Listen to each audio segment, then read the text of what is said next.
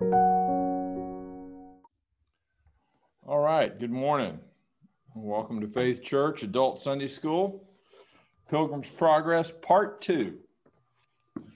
And uh, we're going to have some fun with uh, some ground that I have never covered before. So that's always that's always fun. I've never read Pilgrim's Progress Part Two. I've, of course, I've read for for this week and and some further into the into the book, but uh, certainly have not come to the to the end of it. And um, so we're going through this adventure together, and um, we get to um, to have a, a, sense of the new and uh, the different. And um, so today I'm excited to uh, to be doing that. It's mostly an introductory day, as you'll see. And um, let me read to us a passage of scripture from Ezekiel chapter 37. Ezekiel 37, uh, beginning in chapter 37, verse 1. It's a familiar passage. Um, Ezekiel says, The hand of the Lord was upon me, and he brought me out in the spirit of the Lord and set me down in the middle of the valley. It was full of bones. And he led me around among them.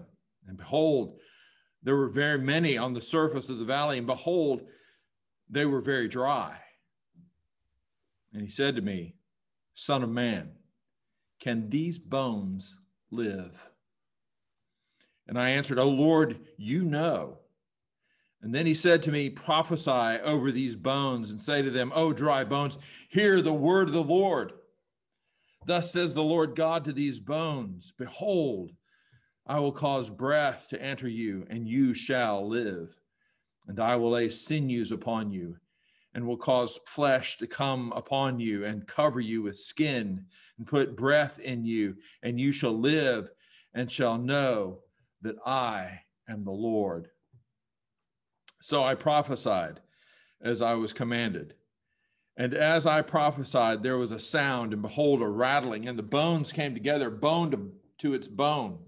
And I looked, and behold, there were sinews on them, and flesh had come upon them, and skin had covered them, but there was no breath in them. And then he said to me, Prophesy to the breath. Prophesy, Son of Man, say to the breath, Thus says the Lord God, Come from the four winds, O breath, and breathe on these slain, that they may live. So I prophesied as he commanded me, and the breath came into them, and they lived and stood on their feet, an exceedingly great army. Then he said to me, Son of man, these bones are the whole house of Israel. Behold, they say, Our bones are dried up, and our hope is lost. We are indeed cut off. Therefore prophesy and say to them, Thus says the Lord God, Behold, I will open your graves and raise you from your graves, O my people, and I will bring you into the land of Israel, and you shall know that I am the Lord when I open your graves and raise you from your graves, O my people. And I will put my spirit within you, and you shall live, and I will place you in your own land. Then you shall know that I am the Lord. I have spoken, and I will do it, declares the Lord. Praise the Lord. Valley of Dry Bones uh, becomes a living army of God's people. Um, so today, as we go through this um, time in Pilgrim's Progress 2, we have some teaching exec, uh, objectives. One, to introduce the second part of Pilgrim's Progress, and two, to compare and contrast the two parts of the story. Three, to describe Christians, uh, Christiana's decision to become a pilgrim, and four, well, four, to promote a greater uh, appreciation for the ways that God works within families. So an interesting, interesting time before us today. Hear this from John Bunyan. Go then, I say, tell all men who thou art. Say, I am Christiana, and my part is now with my four sons to tell you what it is for men to take a pilgrim's lot. So let's uh, pray, and then we will shift over to the uh, video. Father in heaven, we come before you and we thank you for this time that we can share together and, and enjoy a study in this great book that points us to the greater book in the Bible. And uh, we see so much of uh, your word uh, in Bunyan's work, and we thank you for it. And, and Lord, we pray that as we uh, follow this story, that uh, we will see ourselves in it and we will see those around us in it, and um, that it will grow us in grace. All for your glory, we pray in Jesus' name. Amen. All right, let's cut to the uh, to the video.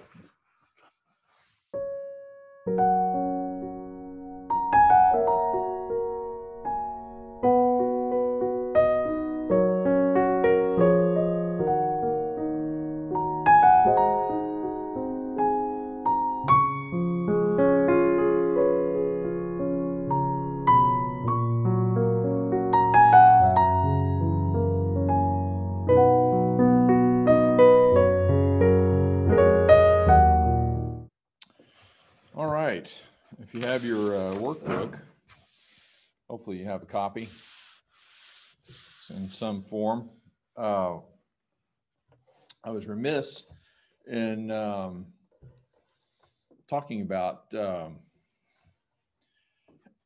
where you can find um, Pilgrim's Progress Part Two. Um, and if you, if you, hopefully you saw the email that I sent out uh, this week that talks about uh, different links. I gave you some links uh, to an audio book where you can listen to it uh, being read. Or um, there are options that you can get a hold of. We have one, I know we have one copy left on our book table of this uh, book. Uh, it's Bunyan's Pilgrim's Progress by Penguin Classics. Uh, it has both part one and part two in it, quite good. Um, Jim Stevens uh, shared a link yesterday on Slack uh, if you have not seen that or are not on Slack, um, maybe we can we can probably share that to you on um, on email. In fact, Jim can probably take care of that um, even today um, and send out a, a church-wide email with that uh, connection, that link uh, to a PDF version, which is is quite well done. It has some nice notes with it. And uh, so I commend that to you as well. If you if you haven't already found uh, a copy to read and are are not reading, uh, please don't be discouraged. You can catch up easily. Uh, it is it is you know it's not easy reading. You got to pay attention because you know, of course the language is that of the late 17th century. Um, but it's it's not so difficult that you can't understand what's going on. And um, so, with that uh, encouragement to uh, get the resources and read them or, or listen to them, um, let's uh, start with our discussion questions. Also, um, just by, by way of reminder, um, if you have a question or if you have a comment or something you'd like to share with the group, uh, please do so through our uh, chat uh, mode in Zoom. And I've got Tim Snyder here with me, uh, who's running, helping run the chat, and he can feed uh, questions to me. So, with that, let's look at number one of our discussion questions. Uh, what are some of the reasons that few people have read the second part of Pilgrim's Progress? Based on the overview given in this message, what are some of the major differences between part one of Pilgrim's Progress and part two?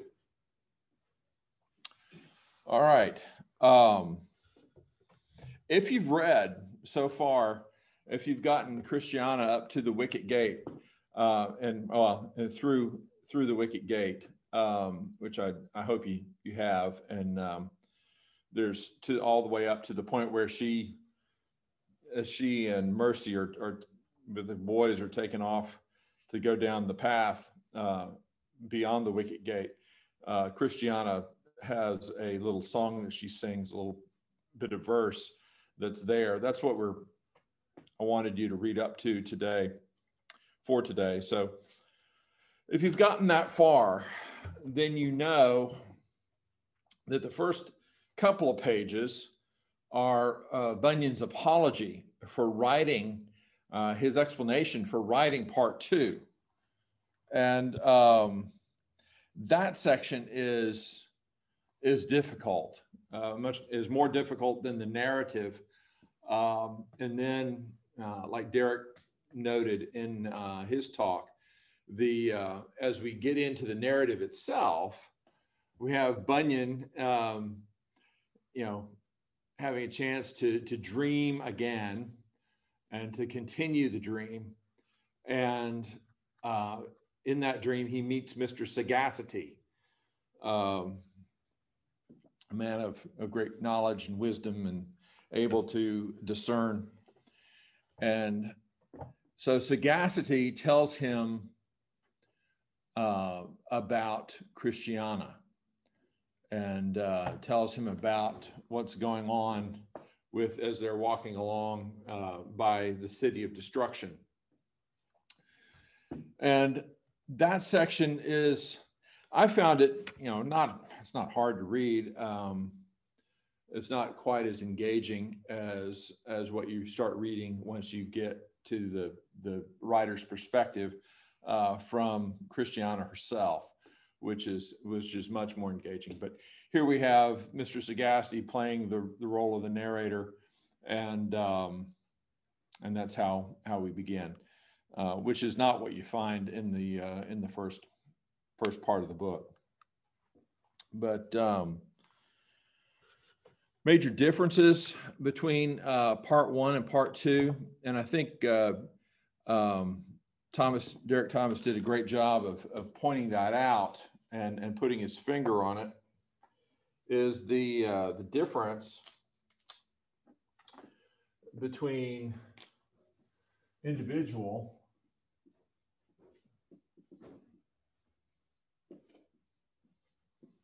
and um, corporate.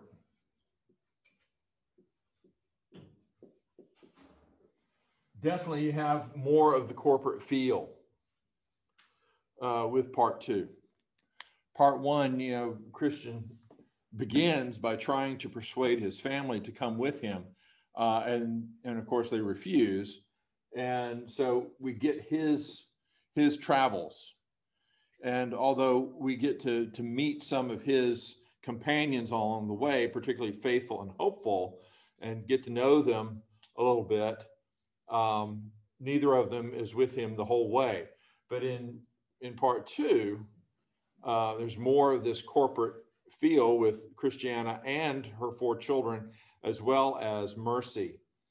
Uh, and I like the, you know, Derek's, um, when you're talking about it, has a more of a churchy feel. There's, there's more of a, more in view here of normal life, um, what we would, most of us would experience. Um, Whereas in part one, we have this kind of hero story of with Christian uh, and you know the you know running into all these big kind of conflicts and and uh, having to overcome great dangers and all that kind of thing. Um, in part two, it's a little different.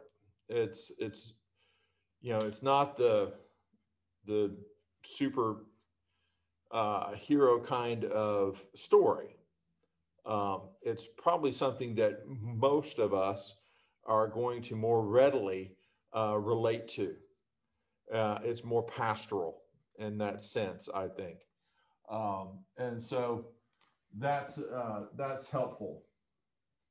I'm going to, for lack of a better term, right now, I'm just going to say it's more normal, meaning more common uh, to what we uh, typically experience in the Christian walk. And those are those are some of the some of the things that I see. Are there things that that you see um, that you would like to to add to that? Um, I'm not. Tim doesn't have anything for me yet, but uh, if you want to add something, please do so. By the way, how many people are signed up? We have uh, 14 participants on, uh, and then Jim just shared uh, uh, information about getting the, PDF download. Okay. Uh, uh, part two. Okay, great. So there's 14 of us. Uh, we typically have 16 to 18. Uh, hopefully, we've got somebody or two that a body or two that are out because of the of Thanksgiving. Um, but encourage people to to take part in this. And I know it's it's a little bit of a it's a little bit of work uh, on your part to stay up with the reading, uh, so you know what's going on. Um, but the reading is delightful, and I would encourage you to do it and encourage others to do it as well. So, um, if you come up with some things that struck you, then pass them on uh, later. Um, and if you're answering a question or or asking a question about a question, um, please note which question you're asking because I'm pressing on to question two. So, how has the first part of this study impacted you? What are your expectations for the second part of our study? Uh, here's a there's a couple of questions here. They're you know just very personal, very individual. I mean, what are you thinking? How are you feeling? Uh, uh, what's your response? And so, uh, if you don't send in your responses, you're going to get mine. So that's that's the way it's going to work. Um, how's the first part of this study impacted you? Um, I, I find it intriguing um, because I have spent um, quite a bit of time, you know, not, I'm by no means a Bunyan scholar at all, um, but I have worked through Pilgrim's Progress, I don't know, maybe six times, six, seven times with uh, people, uh, with small groups and um, with individuals as we've gone through Pilgrim's Progress. And, you know, I've read the story numerous times now. And um, so this is this is new ground, as it were, as we talk about this this first section um, of part two, and it's fresh for me. I, you know, I, I know what to expect in part one. Um, in part two, I'm not sure what to expect. And I'm finding that refreshing. And I'm also finding that uh, exciting um, because there is a different feel to it. It is more pastoral. It is, um, I, you know, I, it's interesting. I think Bunyan you see Bunyan maturing in his in his faith and in his um, I shouldn't say necessarily faith, and it is, but um, maturing and in growing in grace, uh, growing as a pastor, um, and bring with growing in his pastoral concern uh, for people, and uh, and that's evident here, and I, I really appreciate that. Um, so as we as we look at between here, between you know November 29th and uh, January 10th, when we finish this study, Lord willing, um, you know, I I'm just uh, I think it's a, a great you know it's an empty slate for me, um, and I'm I'm sure that we're, you know, I love Derek Thomas. He was a professor of mine. I had many classes with him. Um, and when he says that part two is probably a little better than part one, uh, I take him at his word, and um, I'm excited about that uh, because there's so much good, so many good illustrations there, so much that we can grow from, and uh, if we put it into practice, because as you read, and you'll see it, and if you've read it all, you know what I'm talking about. Bunyan writes in a, I mean, you see the the Bible and passages from the Bible just written in phrases and, and passages and verses that you'll you know just incorporated into the narrative and you see it uh, applied in ways that are very practical very helpful. And for me that's exciting. And for our second part of the study uh, that's what i'm looking forward to. And um, i hope you uh, feel the same. And um, so, how's the first part of this? Excuse me. The story of Christiana and the boys illustrates the way that God can bring spiritual life to an entire family. Even though some family members may initially show great resistance to the gospel. In this case, do you mostly identify with Christian, Christiana, or their children? Explain your answer. And this is uh, this is um, another kind of very personal question uh, on you know where where do you fit in here? How do you respond? Um, and you know what's your own story? What's your own conversion story? Um, since you know I'm the teaching elder and I sit on the session as the moderator. I get the privilege, the great privilege of hearing people's testimonies. And we probably don't make as big a deal of testimonies as we probably should. Um, that's something that I that I should probably try to figure out ways that we can um, incorporate that more into our church life. Um, because think about your testimony.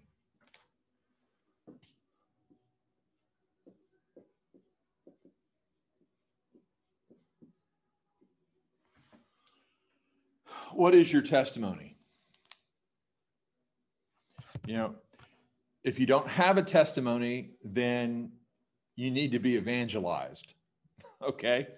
So, uh, and your testimony doesn't have to be some, you know, amazing story of, you know, this, you know, you know, I was a drug addict or, or, you know, I was a drug dealer or, you know, I, some kind of crazy wild person who is out out doing my own thing all the time, um, doing drugs or, you know, sex, drugs and rock and roll and all that kind of stuff, partying. And, and then all of a sudden, you know, I got, I got converted and, you know, God changed me. And now I'm a, a godly, you know, church going person, that kind of thing. You know, if you have that kind of testimony, praise the Lord that he has brought you out of that profligate life into uh, following him. But not everybody has that kind of testimony. You know, some people, you know, they can't tell you a day or a time. They don't know.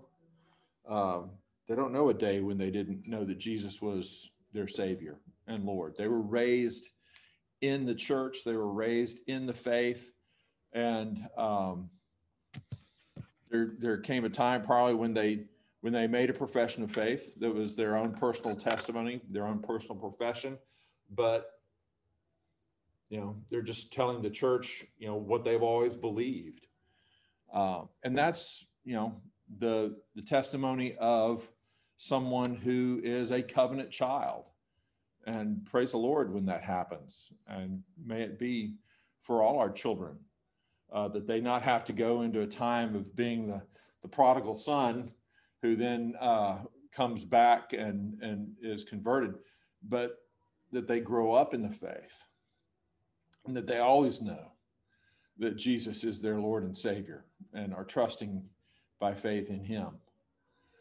Um, so, the reason I make a, a big point on the testimony is this. Um, testimony is a critical part of our being able to reach out to others and share the love of Jesus and to share the gospel with them. Now we can share the we can share the gospel indeed uh, by showing the love of Jesus to people without ever saying anything about Jesus. Uh, but the gospel does not get translated that way. People don't understand the gospel truth.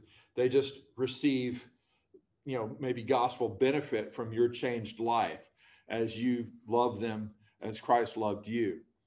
But they need to hear the gospel. They need to hear the words of Jesus. They need to hear, you know, if they don't hear the preaching of the gospel, they'll never be converted. And so there's a place where we need to speak the truths of the gospel. And our testimony is a primary place where we do that. You need to have a testimony. Uh, I would tell you, listen to me very carefully here.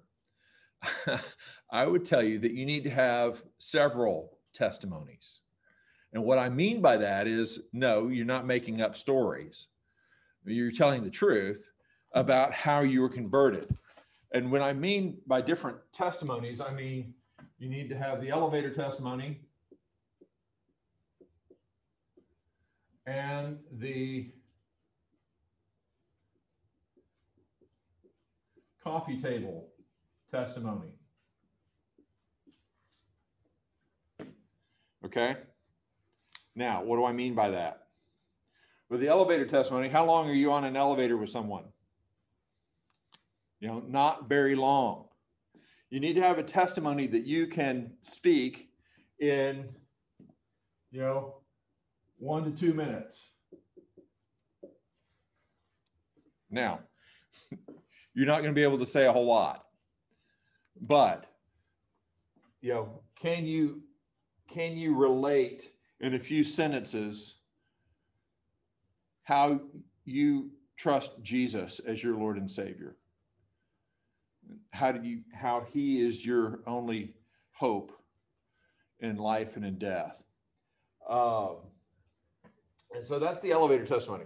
And you need to have this testimony that the coffee table testimony that you can speak and you know maybe you have the luxury of, of taking 20 to 30 minutes. You know? Um, and beyond that there's ee evangelism explosion. If you'll remember evangelism explosion, evangelism explosion trains you this way. I mean, it trains you to, to be able to do it quickly. It trains you to be able to do it in, in a, in a long format. It takes me about 45 minutes uh, to go through the full testimony, uh, the full gospel presentation um, for EE. But, you know, you can, you can do it in, in various ways as you have opportunity, as the Lord opens those doors for you. But if you only have a short window, you need to be able to to have that testimony. And and don't think, okay, well, I need to have a one to two minute testimony and then leave it at that. Because if you don't have it in your mind, what you what you need to say, when the time comes, you're not going to say it. Um, it's not it's not prepared. Now, yes, the Holy Spirit can, will give you words to speak at the time, but how much better if you if the Holy Spirit offers you the opportunity and you're prepared, and then He gives you the confidence to speak um, out your testimony that way, that you have it clear and concise, um, and know what you're about. Um, that's very important. So I would encourage you if you've never done this before, it's a great exercise. It's an encouraging exercise because it it feeds your own faith to work up a testimony. Um, not only a short one, but a long one as well. So you can tell people in, in clear and concise ways that are sensible um, how you were converted, what your life was like, and how what your life is like now that you know Jesus, what your life was like before you knew Jesus. Um, and so we'll leave that there. I have something from Tim here. Yeah, uh, Heidi shared uh, a little story on, uh, interestingly, my first introduction to the gospel came uh, as a result of a track in mud, or in the mud, at the Virginia State Fair as a kid. It was the Lord have mercy on me as the center of prayer and some words about why we should pray. Um, I was I was the first person in my family to get saved. Then my sister followed less than uh, two years later. Then my mom and dad within a couple years after that. So it was somewhat like Christian story. Wonderful. Yeah. Wonderful. Thank you for sharing that. Um, yeah, I mean, here, you know, somebody in the in the in the family gets converted and then has the Lord uses that to affect others in the family. Uh, now, in the in the story that's before us with Christiana and the boys, I mean, it's excuse me, uh, we get you know all the way to Christian dies and, and goes to heaven, uh, and then uh, on reflection of that and and missing her husband and and uh, the Lord working obviously working in her heart uh, through dreams and and what she's thinking. Um, you know, she comes to know that that uh, she needs her Savior, and um, starts out on pilgrimage, um, and uh, the the boys along with her, and uh, it's a beautiful story, and so um, that kind of testimony is important. I mean, and here here Heidi just gave us an example in in a couple of short sentences of what I would call the elevator testimony of being able to say, "Hey, this is what happened." You know, I found a track in the mud at the state fair, and boom, uh, the Lord used that uh, to bring me to uh, saving faith. That's a, a wonderful thing. All right, let's t- hit our last question, number four. Christiana's decision to become a pilgrim did not come about quickly. Describe the process of heart change that she experienced, and how does this compare with your own story and the stories of others that you know? Let me uh,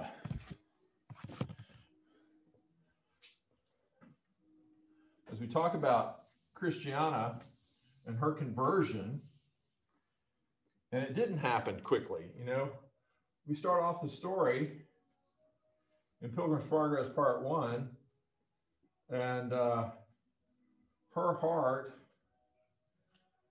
is the heart of stone. You know, it's the it's the unfeeling, unsensitive, uh, unresponsive heart of stone, and um, this is the the heart that we we learn about in in Ezekiel. Uh, that heart of stone needs to be removed and replaced by a heart of flesh, and that that's the work of the Holy Spirit. And He slowly works on her.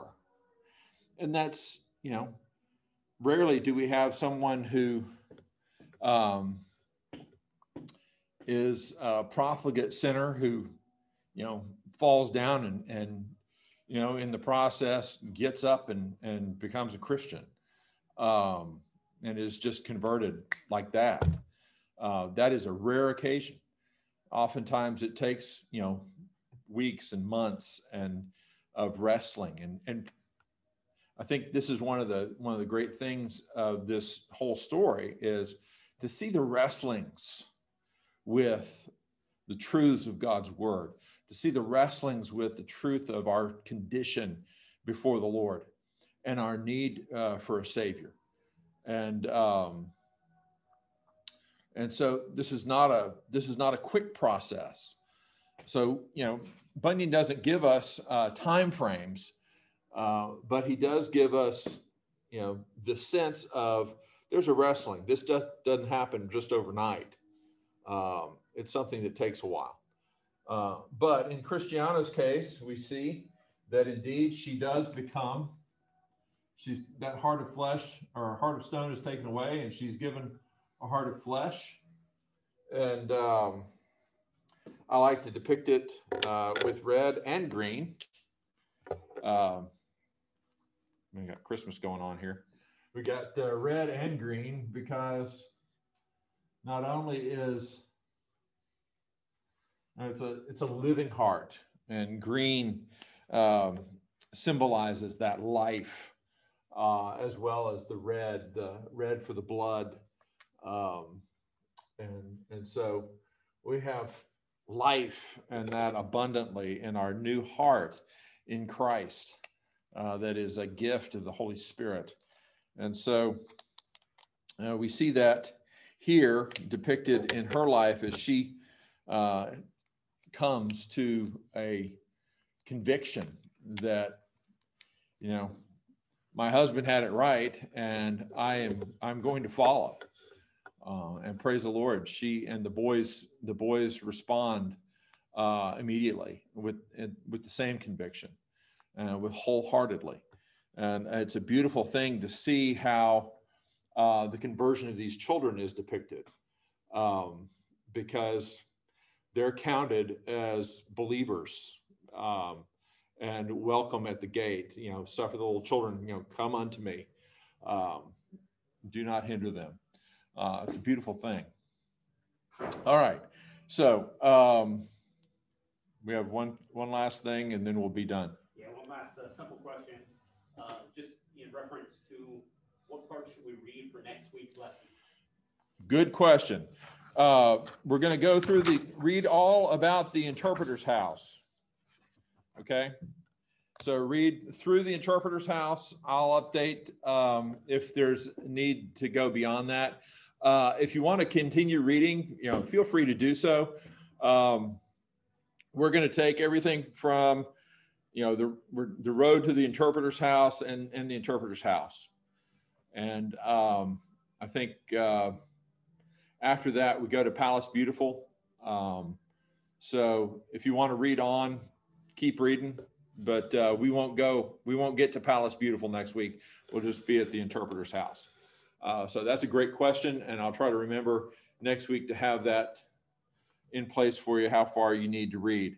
Um, part of the problem with Pilgrim's Progress um, is it's not laid out in clean chapters. Um, that's one of the things I like about that spiral bound version that uh, John Musselman did because it was cut into 25 weeks, 25 chapters. It was easy. Um, but the you know Bunyan's text is not is not broken down that way. So great question. Read through the interpreter's house for next week, and um, we're past time. So let me pray for us.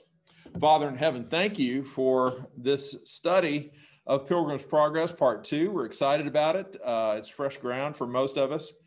And Lord, we ask that you would uh, open our hearts and minds to your word and how it's being depicted here and how it's being applied, and uh, teach us through it by your grace. We pray all these things in Jesus' name. Amen. Thanks for coming this week. God bless y'all.